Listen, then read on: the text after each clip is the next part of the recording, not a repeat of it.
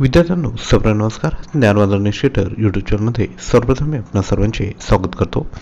तर आजच्या व्हिडिओमध्ये आपण बावीस मार्च दोन हजार तेवीस आजच्या दिवसापर्यंतच्या महत्त्वपूर्ण चालघडमडी बघणार आहोत.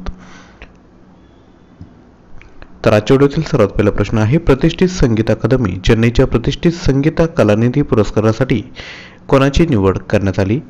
तर ऑप्शन क्रमांक बी बॉम्बे जयश्री. योग्य उत्तर आहे नेक्स्ट एकोणीस मार्च दोन हजार तेवीस रोजी सौदी अरेबिया ग्रँड प्रिक्स कोणी जिंकली? तर सर्जिओ पेरेज योग्य उत्तर आहे. नेक्स्ट क्वेश्चन क्रमांक तीन. मार्च दोन हजार तेवीसमध्ये सिंघा स्पोर्ट्स अकादमी येथे झालेल्या आशियाई अंडर सिक्स्टीन टेनिस स्पर्धेत एकेरी आणि दुहेरी या दोन्ही विजेतेपद कोणी जिंकले? तर रिया सचदेवा योग्य उत्तर आहे. नेक्स्ट जागतिक मौखिक आरोग्य दिन दरवर्षी कधी साजरा केला जातो? तर वीस मार्च हे योग्य उत्तर आहे. नेक्स्ट क्वेश्चन क्रमांक पाच. आंतरराष्ट्रीय आनंद दिन दरवर्षी वीस मार्च रोजी साजरा केला जातो. संयुक्त राष्ट्रसंघाच्या महासभेने कोणत्या वर्षी वीस मार्च हा आंतरराष्ट्रीय आनंद दिन म्हणून घोषित केला? तर दोन हजार बारा योग्य उत्तर आहे. नेक्स्ट पृथ्वीवरील जीवनक्रम समतोल राखण्यासाठी जंगलांची मूल्ये महत्त्व योगदान याबद्दल जनजागृती करण्यासाठी दरवर्षी डॅडॅश रोजी आंतरराष्ट्रीय वन दिन साजरा केला जातो. तर एकवीस मार्च विद्यार्थी मित्रांनो योग्य उत्तर आहे आणि हा अगदी महत्त्वाचा प्रश्न आहे.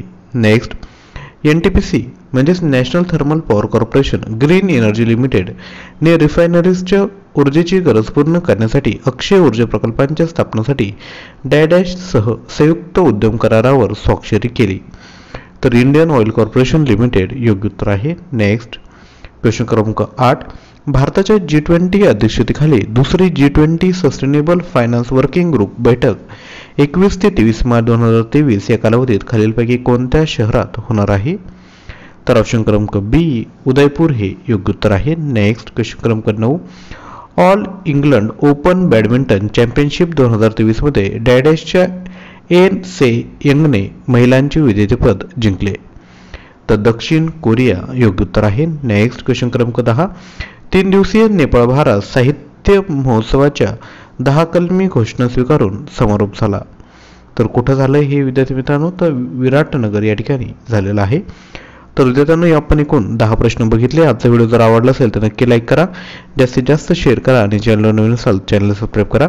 तसेच आपल्याला जर चालू घडामोडीचा जर प्रश्न प्रश्नसंच हवा असेल तर तुम्ही मला त्र्याण्णव छप्पन्न पंचवीस साठ चौतीस या क्रमांकावर व्हॉट्सअप करू शकतात तसेच डिस्क्रिप्शन बॉक्समध्ये करंट अफेअर्स मराठी टेलिग्राम चॅनलची लिंक दिली आहे. त्याला देखील तुम्ही जॉईन करा.